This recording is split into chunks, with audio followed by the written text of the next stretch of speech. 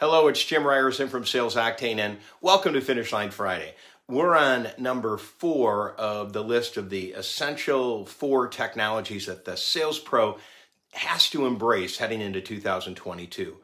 Before the end of the year, we talked about number one, which was video messaging. We covered number two, which was digital handwritten notes. Number three was posting relevant content on those social media sites where your customers or your prospects will go and now today we pull it all together with the one overriding technology that will drive all of these activities. First, a little background.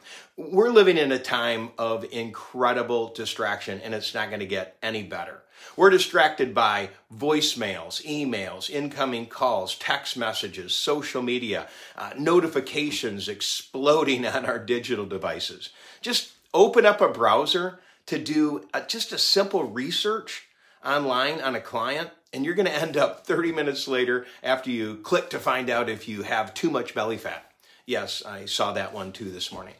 Plus, there's rarely one person who can make the decision anymore without the influence of their team. So now you have more people to connect with and keep track of than ever before.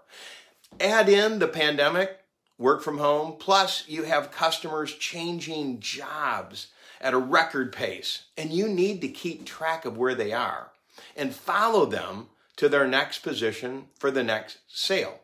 Plus, because customers are typically spending the first 70% of their purchasing process, meaning before they call you, looking at online options, what's out there, getting information. So your company needs to have a strong digital marketing presence. So, how do you keep track of all the things you need to do?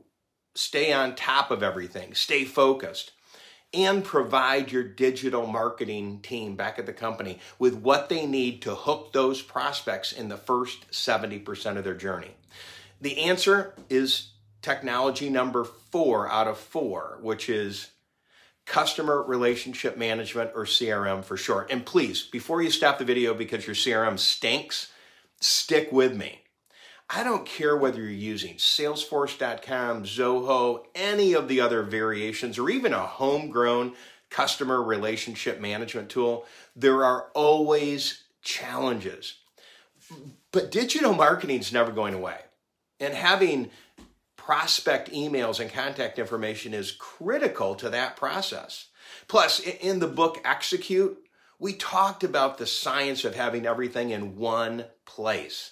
So the key step in using CRM effectively is having your CRM aligned with the sales process. It has to serve the salesperson.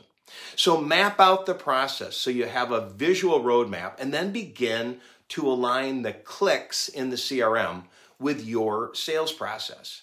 You can use the same video messaging platform we spoke about earlier to make how to videos so the sales team can learn to use the CRM efficiently.